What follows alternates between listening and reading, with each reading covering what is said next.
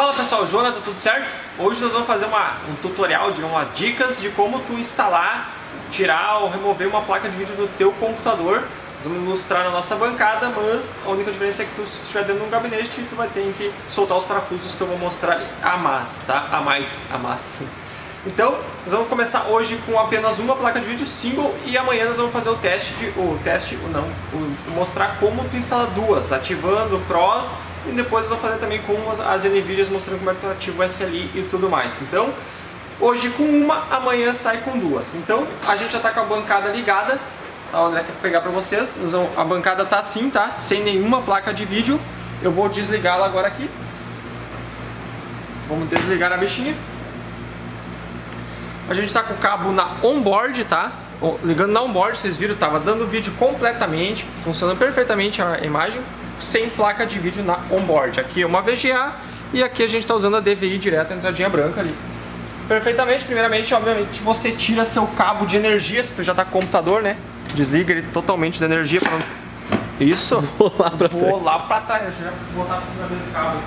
Desligando ele, o que tu vai fazer? Se tu comprou uma placa nova, tu vai instalar ela Tá aqui a placa de vídeo, tá? Eu já tirei a proteção, tu sempre cuida se tiver plásticos nela, tu tira os plásticos, tá? Um adesivinho, aqueles, uh, umas películas Isso, protetoras? umas películas, é, tem umas que vem bastante películas que tu tem que dar uma tiradinha com a unha. No caso, essa aqui apenas vem um plástico por cima, só tirei o plástico e perfeitamente. Aqui tu tem teu slot PC Express, tá? Quando tu vai instalar uma placa de vídeo, somente uma apenas, sempre no mais próximo do processador, tá? Então, porque tem placa mães que tem 4 ou 5, 4 PCIs, tu vai sempre instalar na que está mais próxima do processador. Então, o que tu vai fazer? Aqui já tem uma travinha, ó. A travinha, ela vem assim, tá pegando certinho o foco aí? Deixa eu ver, estou. Tá, ela vem assim, travada, tu dá uma, um plequezinho, vai dar um pleque, no, no vídeo você vai escutar, ó. Tá? Deu um plequezinho leve, vai acontecer, aqui tá o, o que tu vai encaixar ali, que seria a parte da PCI da placa tá? Essa partezinha aí. Então, o que tu vai fazer? Tu vai ter o cuidado, ó, tu pode ver assim, vamos, assim acho que dá pra ilustrar bem, ó. Tá vendo? Peraí, peraí, deixa eu pegar bem o foco. Ela tem a quebradinha aqui, ó. Perfeito. Que é o vãozinho, que vai encaixar com o vão que tem ali, ó, que também é interrompe, não é uma PC inteira, tem um interrompe ali, então o encaixe não tem como terrar e botar pra cá ou botar pra lá. Tem, plugou ali, ó, ó, deu o um encaixezinho certinho ali, perfeito? Ó, botou aqui, tá? E daí tu vai dar uma pressionadinha em cima dela. Pressionadinha bem de leve. Bem de leve. Ó, deu o plequezinho, que no caso, eu acho que se o André pegar aqui por trás, vai ver que essa pecinha voltou pro lugar. Ah, vou ter que mostrar, né? Vou ter que mostrar, né? Aqui ela voltou pro lugar. Lembra que a gente botou lá pra frente antes, né? Botamos ela pra frente pra encaixar a placa de vídeo. Agora, quando a gente pressionou, ela encaixou e firmou a placa de vídeo no slot. Perfeito? É uma travinha de segurança, Isso, né? uma travinha de segurança. Então, vai ter que pegar o que. Agora, o outro detalhe que falta, que é muito importantíssimo, são teus cabos de energia para alimentar a placa de vídeo. Porque tu, se tu ligar lá assim, obviamente, placas de vídeo que tem conexão de energia. Existem uns modelos que não tem conexão de energia, tu não precisa ligar nenhum conector nela, tá? Só engatando na PCI ela vai funcionar. Mas aqui no caso a gente tem dois que a gente tem que alimentar ele, senão não vai funcionar. Tu vai ligar e não vai dar vídeo, não vai, fazer, não vai funcionar nada. Tá? Então o que eu vou fazer? Eu tenho dois aqui da fonte, esses cabos vêm da fonte, tá? encaixa um aqui, ó, segura a placa, encaixou, beleza? Vai dar um pleque também, não, não é nada brutesco, tá? Você tem que ser uma coisa bem delicada para te não quebrar nada. Tudo sempre com cuidado, para te não ter problema algum, né? Porque garantias de qualquer loja não cobre dano físico. Então vocês tomem cuidado na instalação para não quebrar nada, nada brutal, seja bem delicado nessa hora aí. Então, beleza, tá tudo ligado, tudo conectado. Então, pessoal, agora a gente vai ligar o cabo de energia, tá? Eu já liguei ele aqui, deixa eu dar um corte aí, deu probleminha na câmera aí, acabou a bateria, tá? Então ligamos o cabo de energia e agora, como tu tem uma placa de vídeo dedicada, que botou uma placa de vídeo, tu não vai poder usar mais onboard aqui, tá? Tu vai ter que ligar o teu cabo na placa de vídeo. Deixa eu ligar aqui. Uh, deixa eu só pegar. Tá, eu ligar ele aqui. Feito, ligou, tudo certinho, pode ligar o computador. Vamos ligar ele aqui, já está iniciando. É, a dica é não usar mais agora os cabos. Isso, não o, usa mais entrada... as entradas on-board. Tu vai ter que usar da tua placa de vídeo. Até porque se tu continuar usando lá, tu vai ter com a placa de vídeo parada ali dentro, né? Não vai estar, os teus jogos vão ficar ridículos.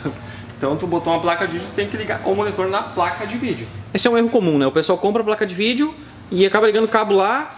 É. E daí eu fico usando lá no onboard e daí, ah, meu desempenho tá ruim. Não.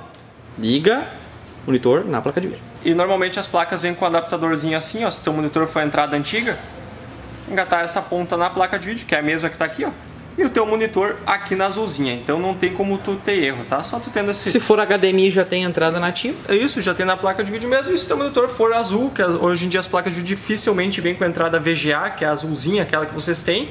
Então tu vai ter que usar esse adaptador aqui que converte de DVI para VGA, engata na placa, engata o monitor aqui, tá? Então, já entrou no Windows aqui, ó, com a placa de vídeo agora. Eu já, nós já temos o driver instalado na bancada, por isso já pegou a resolução tudo bonitinho. Mas o que eu vou fazer para vocês agora, eu vou dar o passo a passo como vocês fazem aqui. Uh, só ligar a internet, só esperar um pouquinho, vou ligar a internet. Né? Googleia, Googleia uh, driver AMD, tá? Primeiro link, download AMD Graphics Drivers Softwares, tá? Cliqueia nele, então aqui select, na primeira opção tu vai escolher Desktop Graphics, que é gráfico para desktop para PC, tá? Segundo, volta ali, volta ali, por favor. Não. Pegar bem o foco aqui. isso. É, na segunda, segunda opção, Desktop Graphics. Selecionou ele, vai para a segunda opção aqui. Aqui tu vai ter que escolher qual modelo de placa tu tem. No caso, a gente instalou uma R9 270X. Então, eu vou baixar o driver da R9 Series. Se tu tiver a série, é uma R7 260, tu vai baixar esse aqui. Se tu tiver as... as não, não, série 7000 HD, é, HD, HD, né? HD essa se chama 7970, algo do tipo, tu vai baixar esse driver aqui, tá? Mas no nosso caso é essa aqui. Agora tu vai selecionar o produto, no caso aqui eu vou pegar que é a R9 200XX, que é a 270 que eu estou usando, tá? Vou pegar essa opção aqui. Seleciona o teu sistema operacional, no nosso caso aqui é o Windows 7 64-bit. Download, aqui display resultados. Vai abrir um monte? Vai abrir duas opções, tá? Beta driver, para baixar o beta, ó, porque lá o de cima o software está em 13.12 e esse aqui é o último driver. Sempre baixa o que tiver aqui, ó, que é a 14, o, o 14.13, é o beta. Clica em download, vai começar a fazer o download do teu driver lá no cantinho, ó, tá baixando lá, são 292 megas.